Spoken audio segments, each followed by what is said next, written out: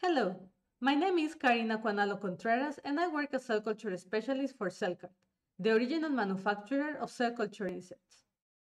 I would like to thank the organizing committee of the Advances in Cell and Tissue Culture International Conference for this invitation. I also would like to thank Swift Analytical, our distributor in the UK, for co-sponsoring this presentation.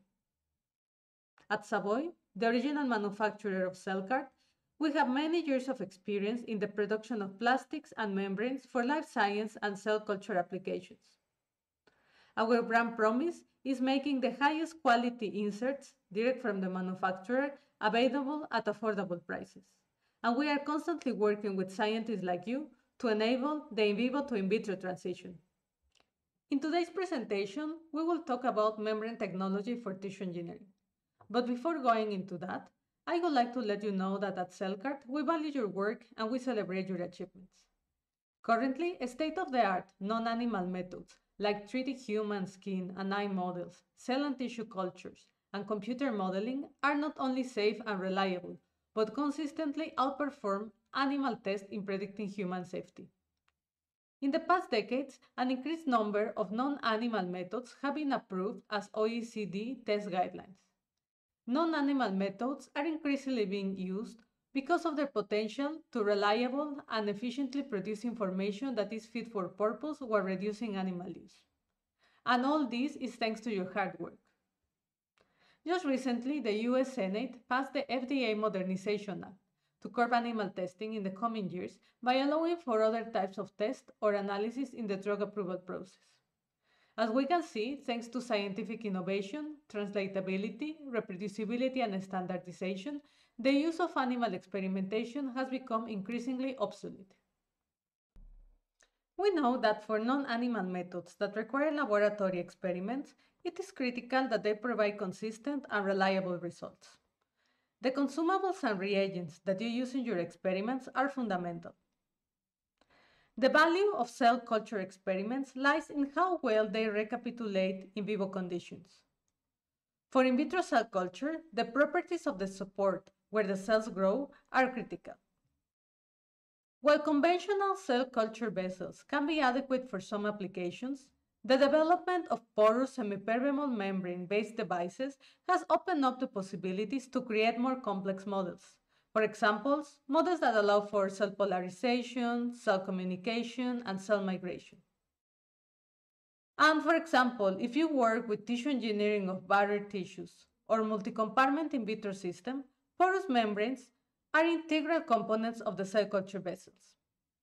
These membranes create interfaces and help establish apical and basolateral surfaces and provide mechanical support for the cells. Additionally, Porous culture membranes can be used to assess the transport and secretion of small molecules or the transmigration of cells. Membrane-based devices, such as cell culture inserts, are widely used for ADME, toxicity studies, and cell signaling, among many others. As considerable interest has been shown towards developing membrane-based in vitro models, the properties of the membranes are fundamental. In selecting a porous membrane for your cell culture, there are a number of considerations that can improve the relevance of your model. Among them, we have pore size.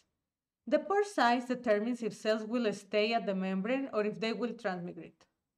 For co-culture models at both sides of the membrane, pore size can also allow physical contact or intercellular communication.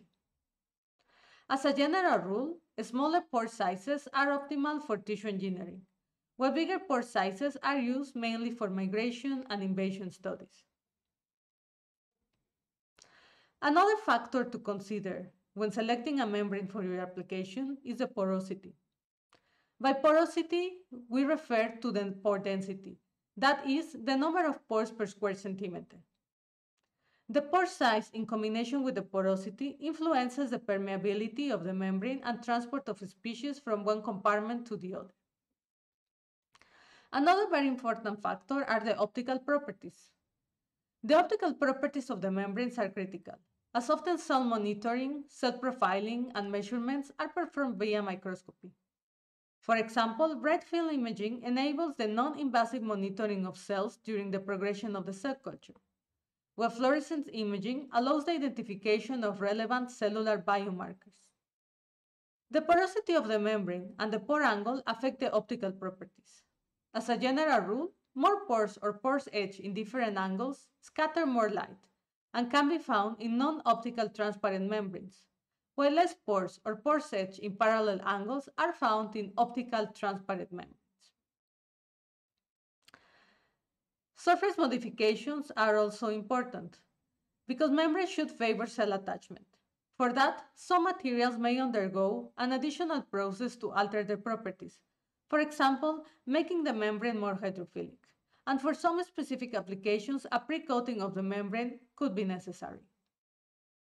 Now that we have learned about the important factors to look for on a membrane for tissue engineering, I would like to introduce you to the technology and science behind our membranes. The membrane is perhaps the most important component of the cell culture insert, as it is the place where cells will attach and grow, and it allows the diffusion of nutrients and substances to the cells. All our cellQART cell culture inserts contain microporous track-etched membranes. We are a source for cell culture inserts who is in control of all components and manufacturing steps, starting from membrane production to assembly of membrane and injection molded components, also produced in-house. Track-etched membranes are produced from ultra-thin PET films that are bombarded with accelerated noble gas ions. The goal of this step is to break the molecular chains of the polymer to create ion tracks that are clearly defined by their density and angles. The desired density is accurately determined by the ion beam intensity and the film velocity. The precise control of these factors allows for the production of superior optical clear membranes. Afterwards, our membranes go through a special aging protocol to assure best pore characteristics. After this protocol, the ion tracks are chemically etched into pore channels. The diameter of these pores can be determined with submicrometer accuracy. At cellQART, we perform a 100% inline pore size and distribution control of full membrane width. Finally, our membranes are treated with air plasma to promote optimal cell attachment.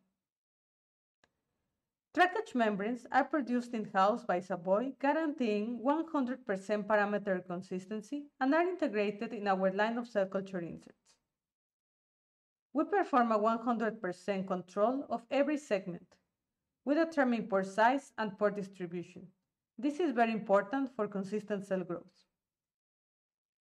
To guarantee that cells grow as required on the inserts, the ability to control the quality parameters of the membrane is an essential feature. In addition, the membrane must be appropriately coated and evenly welded to the plastic. If any single element is defective, the whole cell culture will be damaged. Consequently, these aspects are crucial. We rigorously monitor all the parameters in our end-to-end -end checking process. cellQART cell culture inserts have been used in several international published studies to model epithelial and endothelial barriers, perform co-cultures to study cell communication, and models to study cell migration and invasion, among many others. Here, I present some examples. In the first one, kidney epithelial cells were grown on cellQART as a part of a standardized protocol for large-scale production of proximal tubular epithelial cells generated from human pluripotent stem cells. The transepithelial electrical resistance of mature proximal tubular epithelial monolayers was measured. The results show that cells were able to establish and maintain a tight epithelial barrier for the duration of the experiment.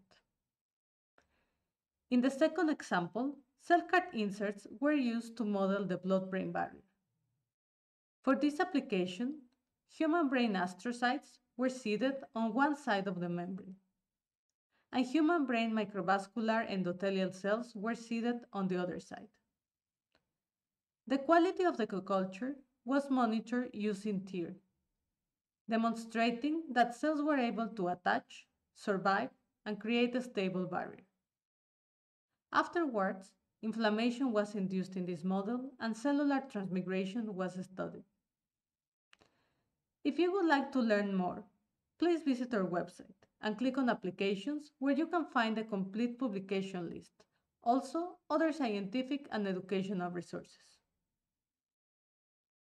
At cellQART, we have a wide portfolio of cell culture insets for 6, 12, and 24 well, ranging in pore sizes for 0.4 microns to 8 microns in different optical properties and porosities.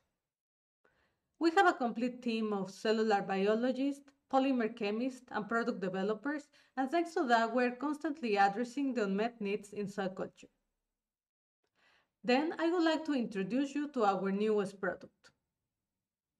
We just launched our specially designed well plates, preloaded with cellQART cell culture insets.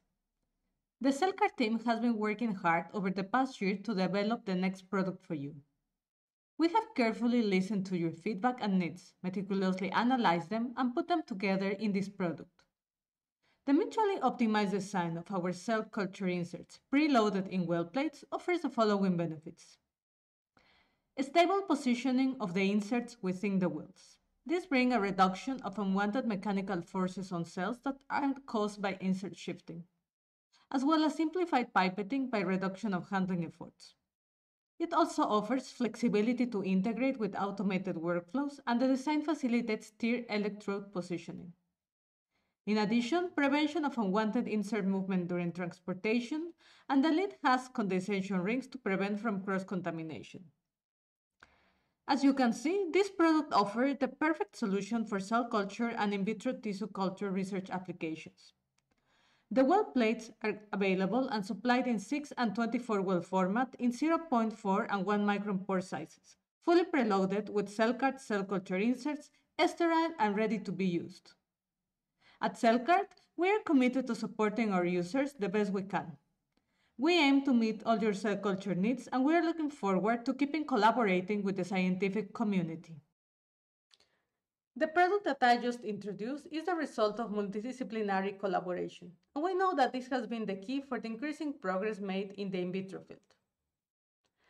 Animal testing raises important concerns about its reliability and predictive value for human outcomes, and creates avoidable animal suffering.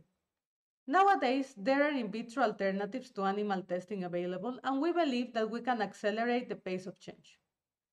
cellQART is actively collaborating with scientists to enable the in vivo to in vitro transition. With our cellQART cell culture inserts, we are committed to the three R's principle while advancing human benefit.